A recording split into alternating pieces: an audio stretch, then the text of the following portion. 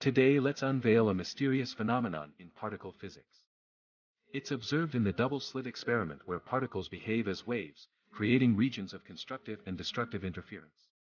But here is the twist when scientists place the measurement apparatus, detectors poised at the slits, ready to reveal the secrets of the particle's journey. Boom! The interference pattern evaporates, replaced by two distinct distributions behind each slit. The particles abandon their wave-like performance and assume the role of classical particles. It's called the observer effect. The act of observation wields extraordinary power, collapsing the particle's wave function and determining their fate. This mind-bending phenomenon raises profound questions. Are we, the observers, shaping the very fabric of reality? Does consciousness intertwine with the behavior of particles? And what are the limits of our understanding?